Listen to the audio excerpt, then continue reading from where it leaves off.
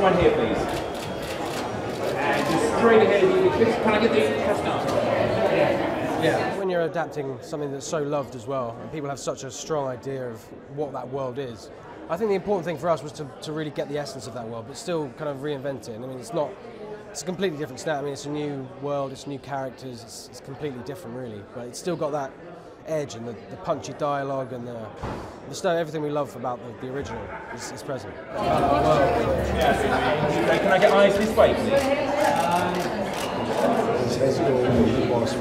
Oh, I loved it. You know, it was great fun. It was good scripts, great character, great story. You know, and I was looking forward to it. You know, I loved the film, and it was kind of you know, inspired by the film, not not the same as the film, but I really liked the story. I liked the characters, and I liked that genre. So it was it was good fun.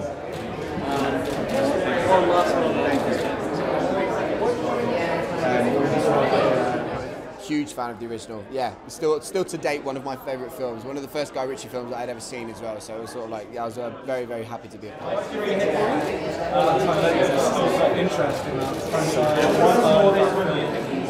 And again, eyes to your right, if you could. Inspired by, it's got its own, um, it's got its own flair to it definitely, and it's it's it's that excitement that you can run with for a little bit longer because it is TV as well, and um, it has a massive fan of the movie.